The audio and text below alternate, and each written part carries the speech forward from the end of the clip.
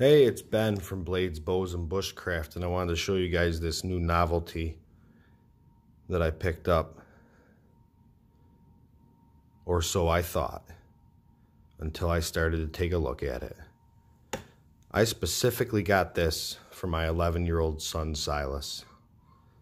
Um, he saw a picture of this in one of the magazines and lost his mind on how cool it was. This is not my uh, cup of tea, but this is a CRKT Columbia River knife tool. My son calls it Cricket, as did I at first, until I was corrected by a arrogant employee at Cabela's. I mean, what's the big deal? Anyway, I guess what's right is right. CRKT Kangee T-Hawk nice Kydex sheath. I could have uh, chosen a, a, different device, not device, but tool when I picked this up.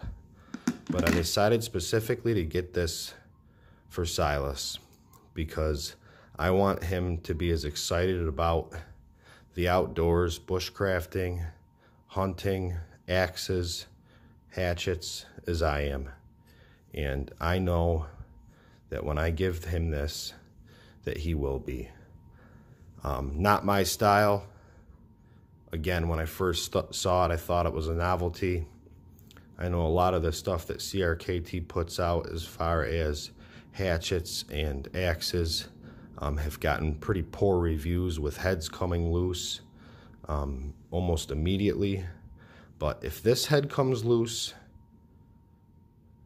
you got problems because that's about a quarter inch thick full tang carbon steel. Thins out ever so slightly down here. Fully MOLLE compatible. It's got a nice kydex sheath. I have no idea what all these holes and slots are for. I guess I got to do some research because this was brand new when I got it. Um, but didn't come with directions or anything. Like I said, I could have could have actually gotten a Grand's Fours Brook hand hatchet, but I decided to go with this unselfishly just for my son.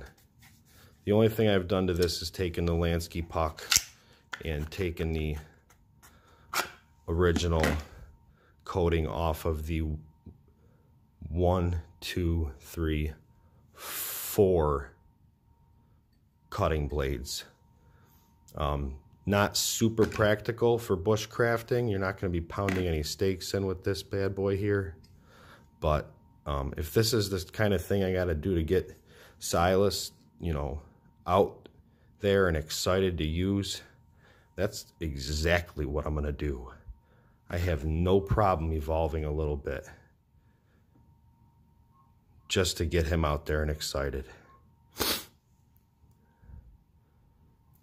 So after taking a real good look at this, I, I am very impressed with the quality of this. It's about 14 inches long. It's very comfortable.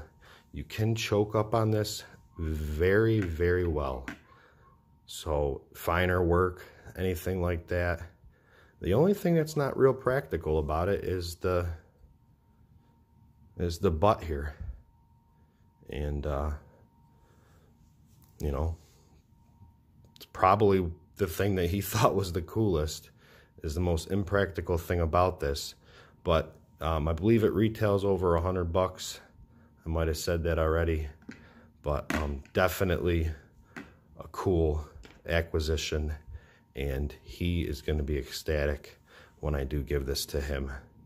Um, and it just, I'm not afraid to evolve a little bit, um, get away from the wood grain stuff just to get my sons involved and excited about getting out in the woods with me.